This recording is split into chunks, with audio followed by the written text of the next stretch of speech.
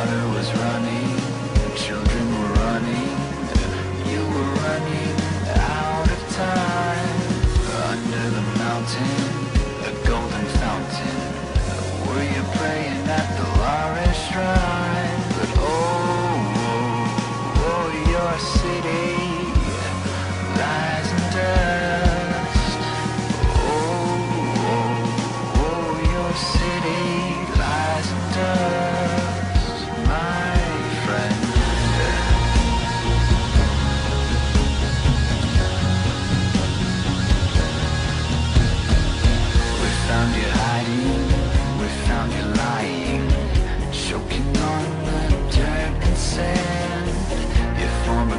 and all your stories dragged and washed with you.